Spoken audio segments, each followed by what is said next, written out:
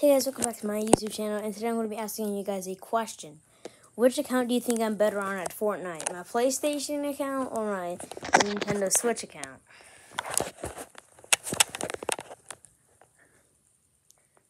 And you guys can't go on Fortnite Tracker looking it up. You can. You'll see which one has more wins, but yeah. my Nintendo account, Hayden is boss. Uh, yeah, it's a stupid name. Get over it. Yeah, my Nintendo account. It has more wins than my PlayStation account because I guess I got my PlayStation two days ago on Christmas, and I'm already level nine. I've been playing for like a half an hour. I've gotten two wins, and I've played two games. The rest of them in creative, and I'm pretty dang good. Bye.